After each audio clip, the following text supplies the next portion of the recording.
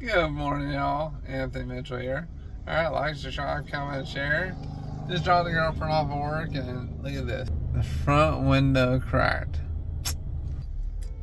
That's why you have insurance. That's why you pay attention to what you're doing. And you have proper protection.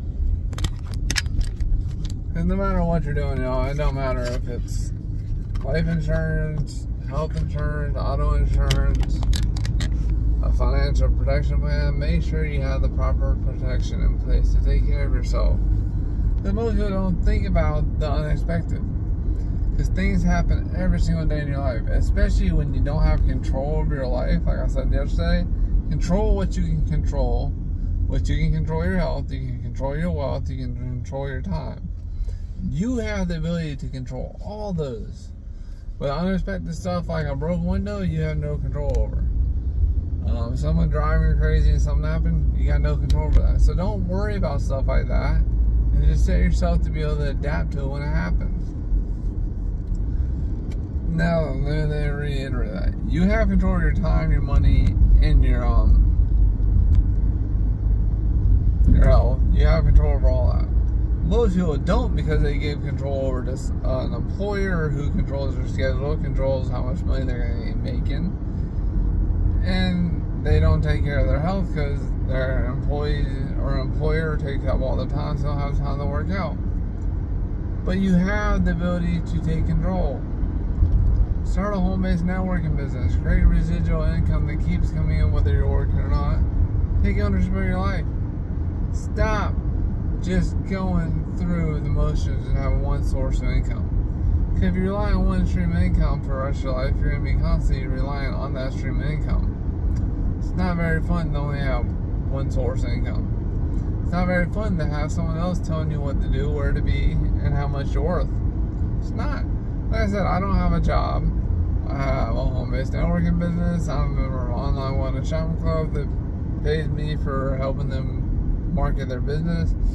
I get paid for doing surveys. I get paid for delivering vehicles. Like I could have took a two hundred dollar trip, a nine hour trip. I could have accepted it last night, but I didn't because mm, up went up to Venice and Fort Worth and to Florida. About a nine and a half hour trip The move and vehicles around would made two hundred dollars. So that's I mean you don't need a job in order to make money in order to pay your bills there's a million different ways you can make you can go earn money. So if you are just hell bent on trading your time for money, you don't need a job to do that.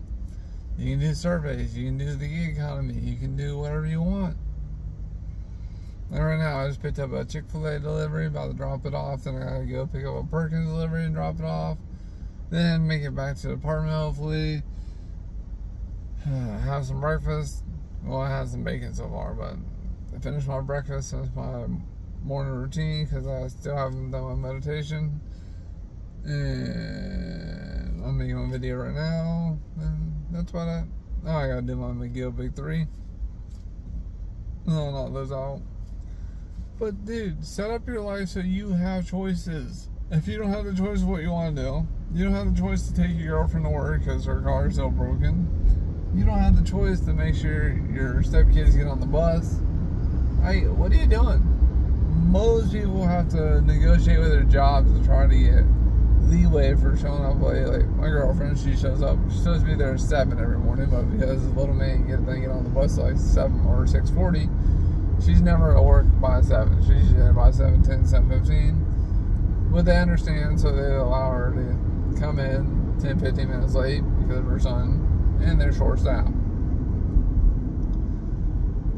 But if it was back in the day, when your jobs actually care that you had to be very proficient on time.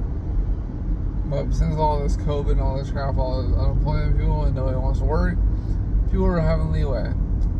But you don't need leeway, y'all. Set up your life so you have control. Start a home-based networking business, create residual passive income, and own your life, y'all.